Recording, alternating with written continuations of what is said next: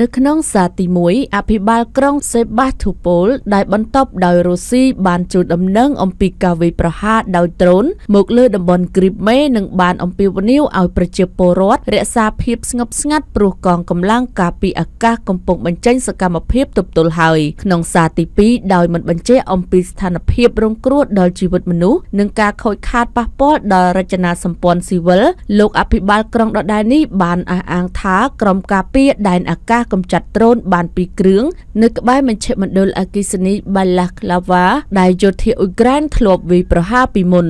សម្រាប់អញ្ញាធរគ្រីបមេស្និទ្ធនឹងរុស្ស៊ីក្រុងកំពង់ផែដែលមានមូលដ្ឋានទ័ពជើងទឹករុស្ស៊ីផង រងការវាយប្រហារដោយដ្រូនតាំងពីចុងខែតុលាមក និងជាការវាយប្រហារយ៉ាងសន្ធាប់ពីសំណាក់កងកម្លាំងយោធាអ៊ុយក្រែន កាលពីសប្តាហ៍មុនអញ្ញាធរគ្រីបមេបានប្រកាសពង្រឹងកម្លាំងរបស់ខ្លួន បន្ទាប់ពីកងកម្លាំងអ៊ុយក្រែនដណ្ដើមយកក្រុងនិងតំបន់ខេសុនមកវិញ បន្ទាប់ពីបំផ្លាញនាវាយោធារុស្ស៊ីនិងយកជ័យជំនះនៅលើសមរភូមិរហូតជំរុញរុស្ស៊ីឲ្យដកថយជាច្រើនសមរភូមិនៅភាគខាងត្បូងប្រទេសកងកម្លាំងយោធាអ៊ុយក្រែនដែលកំពុងរលទៅមុខជានិច្ចមានមហិច្ឆតាដណ្ដើមយកតំបន់គ្រីបមេដែលធ្លាក់ក្នុងកណ្ដាប់ដៃរុស្ស៊ីនៅឆ្នាំ2014មកវិញនៅលើសមរភូមិទាហានអ៊ុយក្រែននិងរុស្ស៊ីបន្តប្រយុទ្ធគ្នានៅពេលនេះនៅត្រង់ដីចុងពូជបំផុតមាន3ភូមិមុននឹងឈានដល់រំដោះបានទាំងស្រុងតំបន់មីកូឡៃភៀកខាងត្បូង បើផ្អែកការទូតវិញរដ្ឋមន្ត្រីការបរទេសអ៊ុយក្រែន